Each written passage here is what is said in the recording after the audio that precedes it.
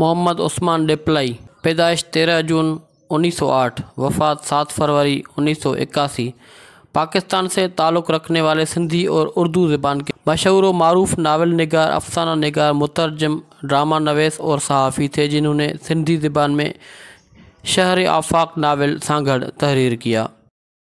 Mohammad Usman deploy, तेरह जून 1908 को Diplo, ज़िला थरपारकर, सिंध बरतानवी हिंदुस्तान मौजूदा पाकिस्तान में पैदा हुए।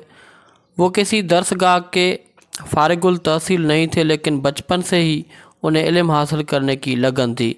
मोहम्मद उस्मान रिप्लाई ने बचपन से ही सिंधी और उर्दू ज़बान में कहानियाँ लिखना शुरू कर दी।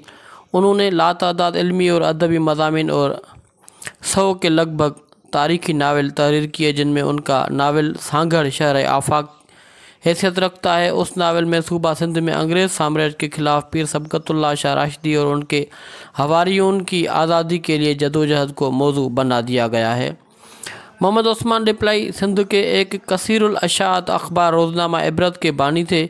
उन्होंने आज़ादी सहाफ़त की खातिर कैद बंद की सहूबत भी बर्दाश्त की। अपने आखिरी ज़माने में वो एक माहवार अदबी जरीदे यानी वतन के साथ अंग्रेज़ी रोज़नामा सिंध टाइम्स के मुदीर भी थे।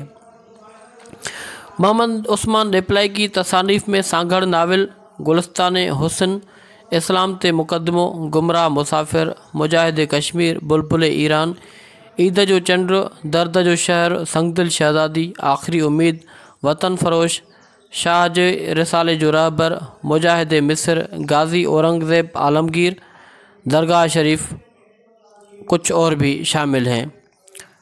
मोहम्मद उस्मान नबलाई शख्सियत और फ़न प्रोफेसर आफाक प्रोफेसर आफाक सिद्दीकी अकादमी अदबियात पाकिस्तान 2009 नाजरन, एजाज़ात में मोहम्मद उस्मान रिप्लाई को हुकूमत पाकिस्तान की जानब से उनकी वफ़ात के बाद सदारती एजाज़ बर हसन कारकर्दगी से नवाजा गया था। मोहम्मद उस्मान रिप्लाई की वफ़ात सात फरवरी उन्नीस सौ इक्यासी को हुई थी।